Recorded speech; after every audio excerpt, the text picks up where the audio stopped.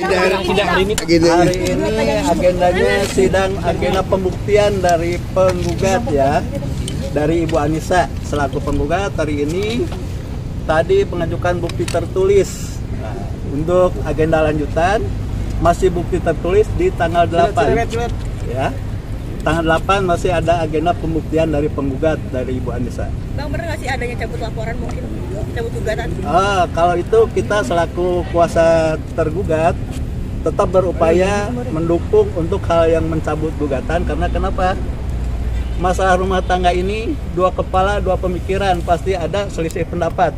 Tidak mungkin bisa disatukan, tapi tetap harus sejalan selaras untuk kepentingan anak. Karena anak itu memang menjadi korban atas perceraian ini. Tapi ada wacana itu Pak di dalam persidangan itu. Ah, wacana untuk mediasi kita udah melaksanakan mediasi tiga kali agenda mediasi. Tujuannya untuk kesejahteraan anak, mentalnya juga tetap bagus karena anak yang perlu diselamatkan. Gitu. Sejak kapan sih bang mungkin uh, adanya uh, percekcokan akhirnya memutuskan Kalau masalah percekcokan karena mereka masih usia belia, mungkin dari pola hidup bergaul ada aja dari dulu mungkin itu ya. Bang, katanya pihak ketiga bang yang membuat ini apa namanya Adanya perceraian adanya perceraian ini. seperti ini bang. Eh, sementara ini perselisihannya hal biasa-biasa aja. Oh bukan orang ketiga berarti? belum belum terungkap Oh, belum. sepenuhnya apakah betul pihak ketiga atau yang lain-lain. Bang diduga adanya KDRT bang mungkin? KDRT belum bisa disikapi, belum saat ini belum ada pembuktiannya. Bang keduanya masih serumah? Masih serumah, Masih tinggal di tempat sesuai KTP, sesuai kartu keluarga. Mungkin bisa dilihat nanti dicek di rumahnya masih Padahal, tetap. bang, uh, mungkin dan nggak hadir. Kliennya- Kalau kliennya. hadir untuk sidang ke satu hadir, sidang kedua hadir, mediasi juga hadir semua. Bang Rosadi sendiri ketika mendapatkan gugatan ini seperti apa reaksinya? Ah, reaksinya sedih. Kenapa? Kalau Pak Rosadi ini, Pak Andika ini sayang kepada anak. Kalau terjadi perceraian, anak yang kena dampak itu sangat memukul sekali untuk klien kita. Bang bisa dibilang status profesi menjadi alasan Bu? Ah, untuk profesi mungkin hal yang umum ya, karena itu profesional untuk mereka selaku artis ya.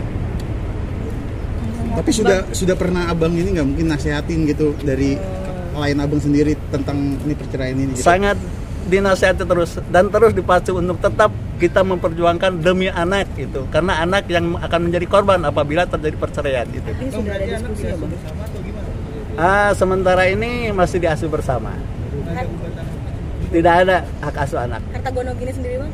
Harta gono gini belum terkemuka. Berarti yang diminta cuma putus Cerai aja. Bang, kabarnya ini kedua kalinya bisa menggugat cerai.